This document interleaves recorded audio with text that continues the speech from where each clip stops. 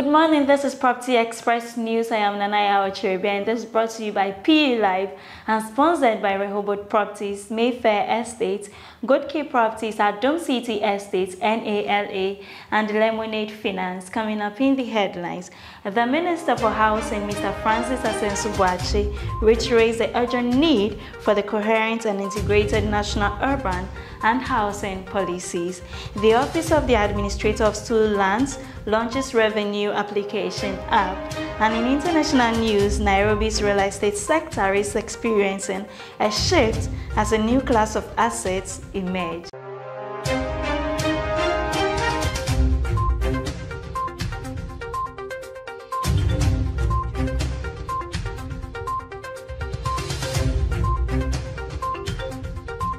Now the news in details. The Minister for Housing, Mr. Francis Asenso has reiterated the urgent need for coherent and integrated national urban and housing policies. He made this known when he led a delegation to Pretoria, South Africa for a high-level meeting to launch the Global Action Framework on Informal Settlements and Slums. He said Ghana had already taken steps in the development of a draft slum upgrading and prevention strategy, and the emergence of this global action plan will help shape the country's strategy for effective implementation. The high-level meeting brought together ministers, government officials, as well as civil societies who continue to play active roles in upgrading and transforming informal settlements. Moving on, the Office of the Administrator of Stool Lands launches Revenue Application app. The Office of the Administrator of Stool Lands, OASL, a department under the Lands Ministry, has joined the ministry's digitalization drive with the launch of their new revenue application in collaboration with GIZ, a German-based corporation in Ghana. The OASL Revenue app is a web-based application purpose-built with functionalities and tools to enable data collection, billing, revenue collection, and payments. It is built on street address maps from MMDAs and the OASL revenue tables. Speaking at the launch, the Deputy Minister for Lands and Natural Resources, responsible for lands and forestry, Mr. Benito Owusu-Bio, congratulated the office for the initiative, saying that he was pleased the OASL Rev app had joined the digital transformation agenda. The Deputy Minister acknowledged the government's efforts in digitalization, indicating the Nana Addo Dankwa Akufo-Addo-led administration has been taking very aggressive steps to hasten the nation's transition from a predominantly paper system to a paperless system by leveraging technology to streamline many government processes. Still staying with the administrator of Stool Lands, Mrs. Mahame Ama Idumazi Akwa the administrator of Stool Lands says over the past years, the office has been searching for sustainable and smart ways of enhancing Stool Lands revenue mobilization through the use of modern technology.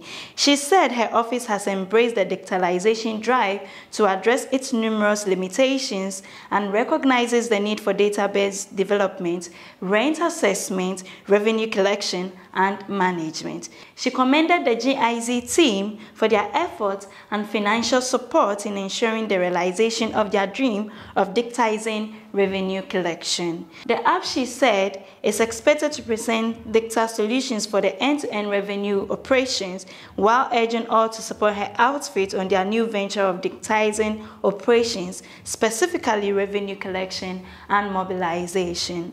Raphael Frekin, the program manager of governance for inclusive development at GIZ, on his part said GIZ supported the office with the development of the revenue application and the development of a portal which allows citizens to manage payments for their ground rent and other royalties based on the traditional land law.